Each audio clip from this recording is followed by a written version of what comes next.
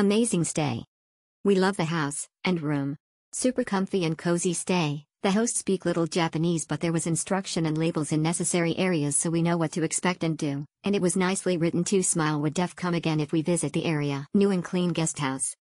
This was a fine place to stay conveniently located between Mount Yotei and Mount Niseko.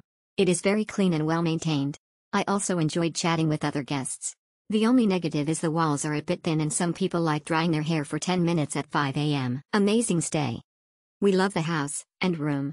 Super comfy and cozy stay. The hosts speak little Japanese but there was instruction and labels in necessary areas so we know what to expect and do. And it was nicely written too smile would def come again if we visit the area. New and clean guest house.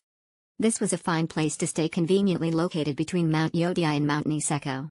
It is very clean and well maintained. I also enjoyed chatting with other guests. The only negative is the walls are a bit thin and some people like drying their hair for 10 minutes at 5 am. Amazing stay. We love the house and room.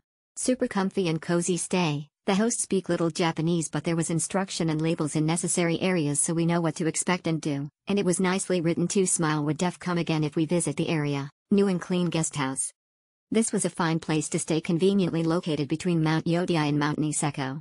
It is very clean and well maintained. I also enjoyed chatting with other guests. The only negative is the walls are a bit thin and some people like drying their hair for 10 minutes at 5 am. Amazing stay. We love the house and room. Super comfy and cozy stay. The hosts speak little Japanese but there was instruction and labels in necessary areas so we know what to expect and do. And it was nicely written too smile would def come again if we visit the area. New and clean guest house. This was a fine place to stay conveniently located between Mount Yotei and Mount Niseko. It is very clean and well maintained. I also enjoyed chatting with other guests. The only negative is the walls are a bit thin and some people like drying their hair for 10 minutes at 5 am.